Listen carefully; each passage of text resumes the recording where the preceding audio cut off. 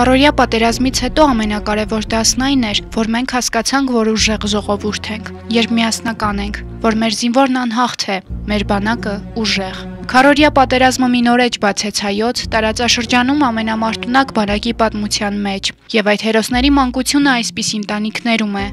Հայկ Մինասյանի ընտանիքն է։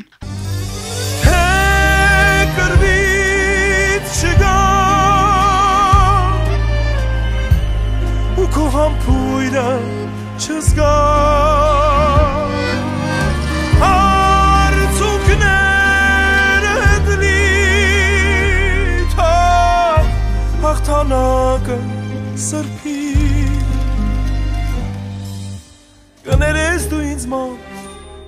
քո որդուն Ես խաղաղ երկնքով կգամ դու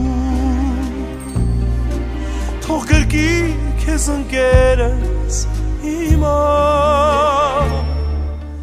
Իմ կողմից թող ասի քեզ հիմա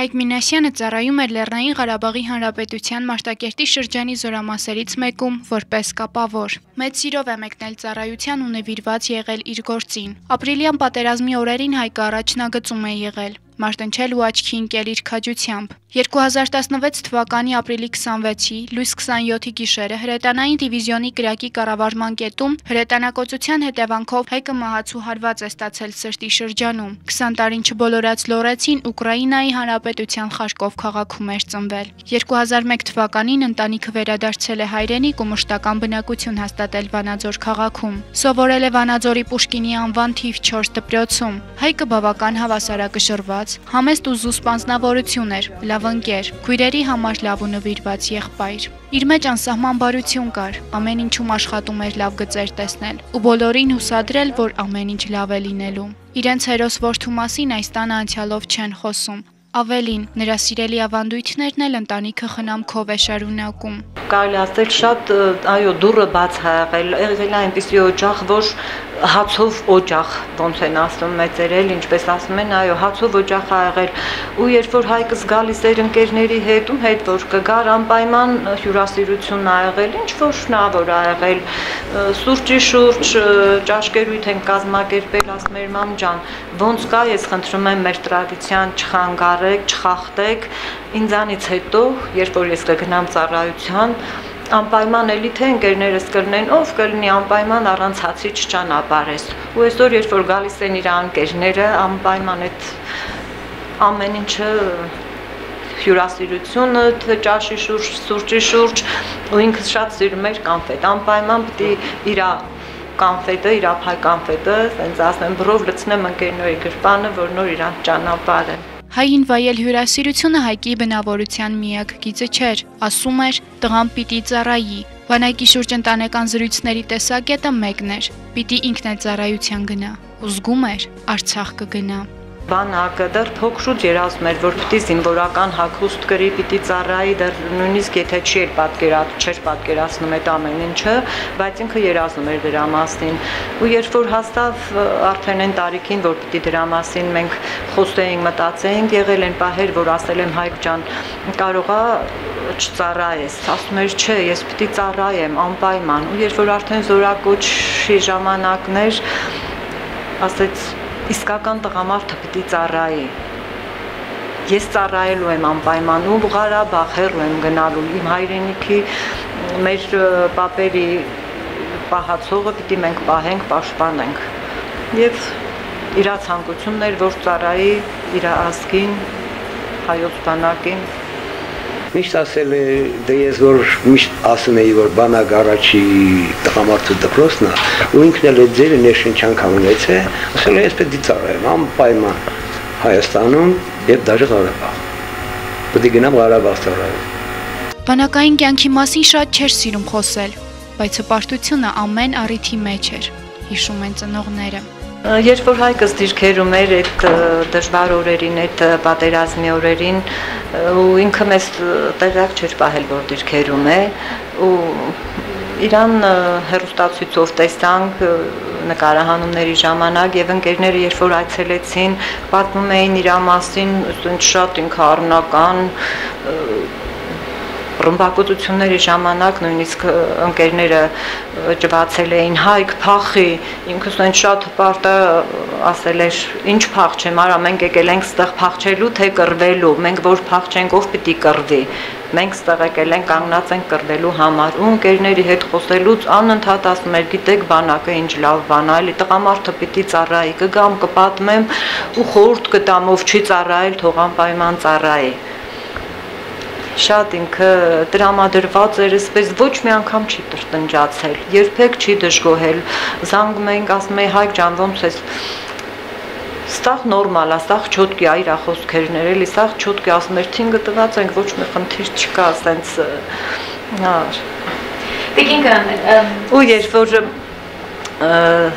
վերջի դեպքի հենց առավոտյան իր հետ խոսեցինք, ասեցի Հայկ ջան, չգիտեմ, որ նոր ես գնացել, դու էլի նորակոչիկ ես եղել, ոնց են վերաբերվել քեզ։ Ամեն դեպքում խնդրում եմ արդեն 6 ամիս անցել էր։ Ասեցի հանկարծ որ նորակոչիկներին կբերենք, խնդրում եմ հանկարծ չնեղացնես։ Ասեց մամ, քեզ ինչ հացնում, ես կնեղացնեմ, մտքովդ չանցնի։ Ու ասեցի ոնց են էլի քեզ վերաբերվում այդ հրամանատարական կազմը, ասեց շատ լավ, այնքան լավ, որ կարելի ասել ոնց որ ընկերներ լինենք, որպես ընկերներ ենք իրան դիմում։ Բանակի մասին խոսելիս հերոսի ծնողների մոտ զգացողությունները տարբեր են հպարտությունից ցավ։ Հպարտ եմ, որ ունեմ հերոս, բայց կուզենայի որ լիներ կենթանի հերոս իմ հայկը, ինչպես մյուս հերոսները նույնպես կուզենայի լինեին կենթանի հերոսներ հպարտ եմ ոչ միայն նրա համար, որ ունեմ հերոս, այլ հպարտ եմ, որ լավ զավակ եմ դաստիարակել. թե շրջապատի համար եւ թե պետության համար, ազգիս համար լավ զավակ եմ դաստիարակել։ Ու այսօր ինքը պիտանի ա եղել, արժանի ա եղել այն ամեն ինչին, որ այսօր ինձ թվում է գնահատվում ա մեր հերոսների սխրանքը ու դա դորոշտ փոփանքա մեր համար իհարկե մենք ուզենք որ երբեմն ուշադրության արժանանանք շնորհակալ կլինենք այն մարդկանց ովքեր կապրեցնեն կգնահատեն մեր ողջիների սխրանքը որոնք իրանց ներդրումն ունեն այո մեր հայոց բանակի կազմավորման եւ մեր պետության երկուսը իրար հետ ճիշտ ասած եւ հպարտություն կար եւ ցավ ցավը նրա մեջ էր որ ինքը չկա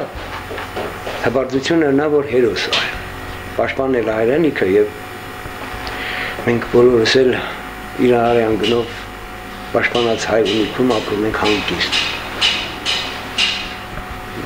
Քարորիայի տղաները պատմությունը փոխեցին։ Տիկին Գայանեն ասում է ժամանակը ոչինչ չի փոխում ընտելացնելուց բացի։ Փոփոխություն սակայն մի տեսանկյունից չի ուզում։ Ուզում է, որ տղերքի մասին խոսեն, պատմեն, ասում է, իրենց համար ամենակարևորը ուշադրությունն է,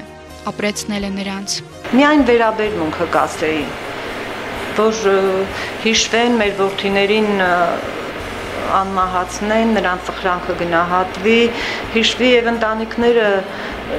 դուրը բաց թող լինեն, այսպես ասած, ընտանիքները լինեն ուշադրության կենտրոնում այդ ընտանիքներին ոչինչ հարկավոր չէ, ոչ մի բան, ընդհանրապես մի հատ վերաբերմունք, որ կարող ես փոփել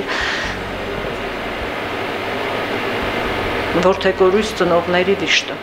Մինասյանների հարկի տակ հավասարազոր հպարտության հետ նաև համեստությունն է։ Խնդիրների մասին ամուսինները հայացքով են լռում։ Ամեն ինչ կարքին է, թե ինչպես են ապրում, ինչ հոգսերով ու խնդիրներով միայն մեկն են առանձնացնում։ Ամեն ինչ լավ է նախաբանից հետո, դե որ աշխատանք լիներ սոցիալական խնդիրներ էլ չեր լինի։ Միակ որդուն պատերազմը որդեգրեց, երազանքները թողնելով կիսատ։ Բոլորն խնդիրներ ունեն, բայց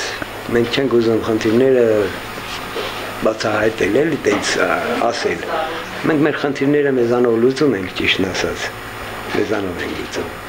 Ոչինչ, ձեռից ամեն ինչ գալիս է։ Դա չնայած աշխատանք չունեմ, ասենք չեմ աշխատում պետականորեն, բայց նենց թեթևակի գործեր անում եմ։ Շնչելը դեռ ապրել չէ, կարելի ասել, շնչում ենք, բայց շնչելը դեռ ապրել չի, բայց մեր ցանկությունը կլիներ, որ գոնե աշխատանքի հնարավորություն լիներ։ խնդիրների ու հոգսերի թեման արագ շրջանցելով շտապում են թորներից պատմել, ովքեր էլ այսօր լցնում են Մինասյանների կյանքը։ Ներկան Թորնիկները հիմնականում գալիս են, փորձում են մեր տրամադրությունը փոխեն, դե մենք էլ աշխատում ենք մեր դիշտը մեր մեջ, ոչ մեկի դասին չփաթաթենք, որ երեխաներ գոնե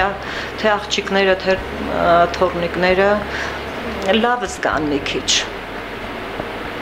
Ասեն ոչ մի բան հնարավոր չի փոխել։ Ոչինչ հնարավոր չի փոխել, պարզապես գոնե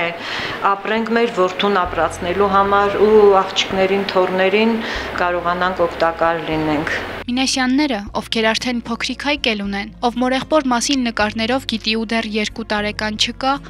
ասում են երջանկությունն է իրենց։ Ես ապրի, ստաչի, ապրի, բանը։ Ահա,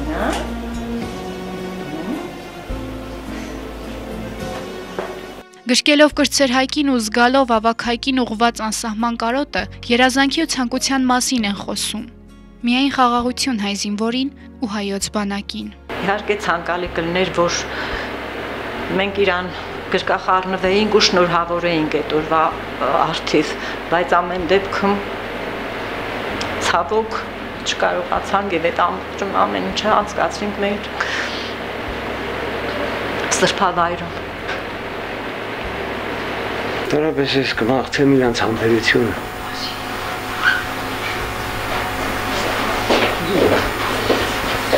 Չգիտեմ, մեզ բոլորից համբերություն։ Ովքեր այս պատերազմը զոհեր են տվել, նրանց ընտանիքներին բոլորին համբերություն եմ ցանկանում։ Ու ապրեն այն կյանքով, որոնք իրանց տղաները, իրանց ավակները կկուզենային ապրեն։ Որ հանկարծ երկնքում կներեք